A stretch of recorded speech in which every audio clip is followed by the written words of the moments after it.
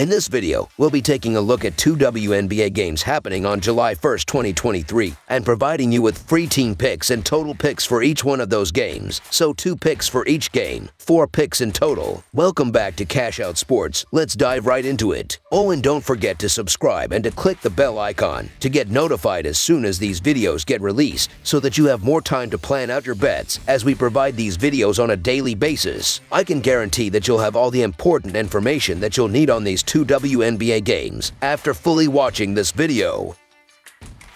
One more thing before we start, if you would like to gain access to our best exclusive sports picks to take your journey to the next level, then check out our Patreon in the link down below where we offer our best single picks, parlay picks, and much more. Now let's get started. Las Vegas Aces versus Connecticut Sun. The Connecticut Sun and Las Vegas Aces face off on Saturday in a WNBA showdown at Michelob Ultra Arena. The Sun sit with a 12-4 record overall, but they are coming off a loss in the last game. The Sun scored 81 points against the New York Liberty, but the defense gave up 89 points, and that led to the 8-point defeat. DiJonai Carrington had a strong game finishing with 23 points, 6 rebounds, and 2 assists. The Sun are averaging 84 points while their defense is giving up 78 points per game. The offense is ranked 5th in the league while the defense is ranked 3rd in the WNBA. DeWanna Bonner is averaging 18 points while shooting 41.9% from the field. Brionna Jones suffered an Achilles injury last week and is now out for the season. The Las Vegas Aces sit with a 14-1 record overall and they currently look like the clear favorite to win the WNBA title. In the last game, the Aces faced off against a very good New York Liberty team and they were able to secure a 98-81 victory. The Aces had five different players that finished with at least 14 points. The Aces are averaging 93 points while their defense is giving up 78 points per game. The offense is ranked first in the league while the defense is ranked second in the league. Jackie Young has been the top player for the Aces averaging 19 and a half points while shooting 57.7% from the field and 49.3% from behind the three-point line. Even against the best teams, the Aces have looked dominant this year and it's going to be no different in this game. The Aces scored 98 points against the New York Liberty and they are going to have no issue running up the score again in this game. This is going to be an easy victory for the Aces. So the Las Vegas Aces to win and cover the spread as favorites is our full game side pick.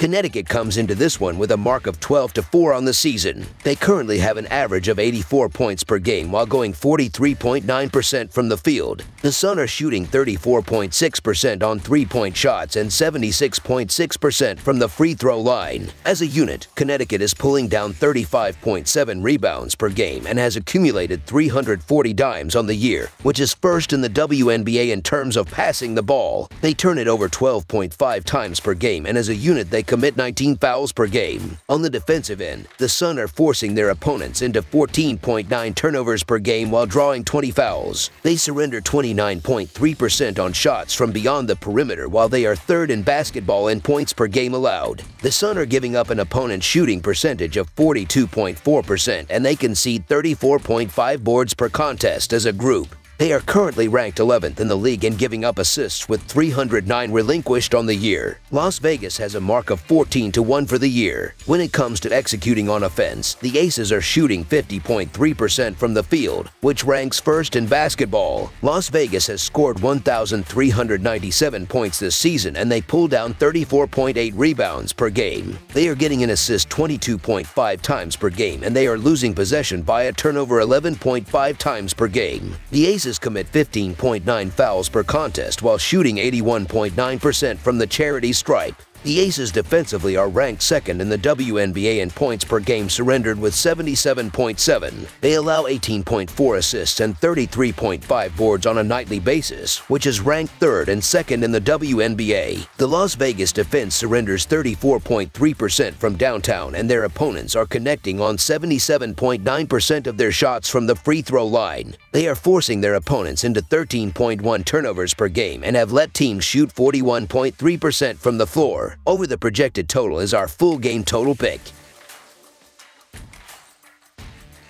Phoenix Mercury versus Minnesota Lynx. The Minnesota Lynx and Phoenix Mercury face off on Saturday in a WNBA showdown at the Footprint Center. The Lynx sit with a 6-9 record overall and they are coming off a big victory in the last game against the Seattle Storm. It was Napheesa Collier that hit the game-winning shot to help lift the Lynx in overtime. The Lynx are averaging 79 points while their defense is giving up 84 and a half points per game. The offense is ranked 9th in the league while the defense is ranked 8th. Napheesa Collier has been the top player for the Lynx averaging 22 points while shooting 49.2% from the field and 34.6% from behind the three-point line. There are four different players that are averaging at least 10 and a half points per game. The Mercury come into this game with a 3-11 record overall, but they are coming off a victory in the last game. The Mercury scored 85 points against the Indiana Fever, and that was enough to secure the 22-point victory. Brittney Griner finished with 22 points, 5 rebounds, and 3 assists. The Mercury are averaging 77 points while their pitching is 86 points per game. The offense is ranked 12th in the league while the pitching staff is ranked 10th. Griner has been the top player for the Mercury so far this season, averaging 19 and a half points while shooting 61.5% from the field. Both of these teams are coming off impressive victories, but I have been more impressed with the Lynx. Collier would be getting MVP consideration if she was on a better team, and she's going to have a big game here. The Mercury aren't going to be keeping up, and the Lynx are going to get the job done here. So the Minnesota Lynx to cover the spread as underdogs is our full game side pick. Minnesota comes into this contest with a win-loss mark of 6 to 9 so far this season. They are giving up possession 12.6 times per contest and as a basketball team are committing 17.4 fouls on a nightly basis. As a team, Minnesota is collecting 35.7 boards per game and is sitting with 285 assists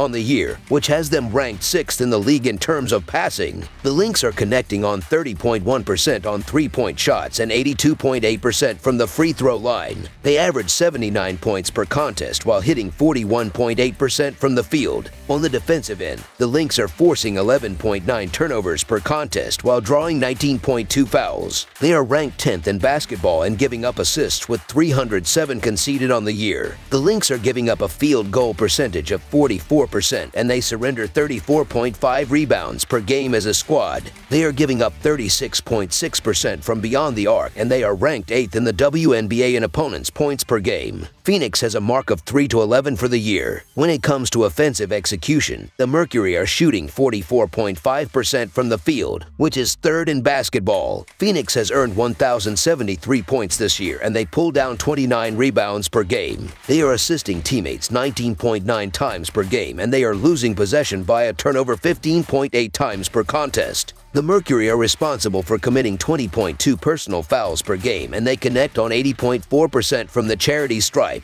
The Mercury on the defensive end are ranked 10th in the WNBA in points per game given up with 85.8. The Phoenix defense surrenders 34% on shots from beyond the arc and opponents are making 82.3% of their foul shots. They allow 20.9 dimes and 35.2 rebounds per contest, which ranks them 11th and 8th in the league. They have forced 12.5 turnovers per game and allow teams to shoot 43.8% from the floor. Under the projected total is our full game total pick. That's all for now, so if you have any other games you would like reviewed, then leave a comment down below with the game you would like analyzed, subscribe to our channel, leave a like on this video, and we'll get to it as soon as we possibly can. We would also love to hear your opinion on the picks presented to you in this video, whether you agree or disagree with them, so leave a comment down below and do let us know.